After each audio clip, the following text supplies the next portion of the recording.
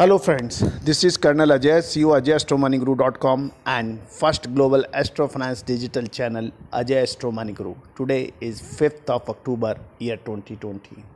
Friend, in this episode we shall be talking about the European stock markets possibilities based on astrotechnical.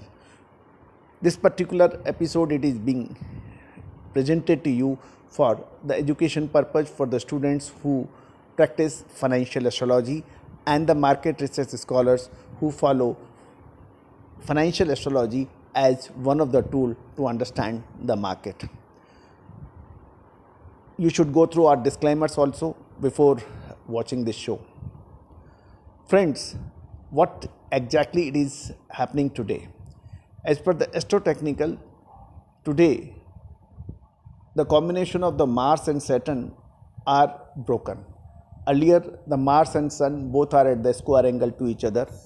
That is creating the uncertainty and geopolitical tension at the global level.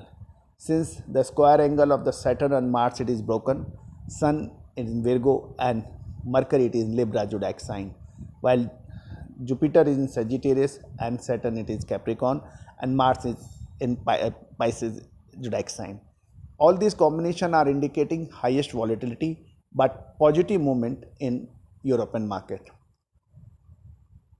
Earlier the automobile stocks were seeing weakness. Now the automobile sector may see some positive trend next one or two trading session.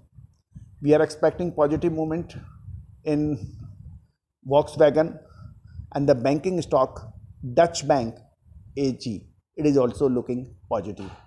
So friends, your suggestion and comments are welcome about this episode. Thank you. Thank you very much. All the very best. Good luck. Happy trading.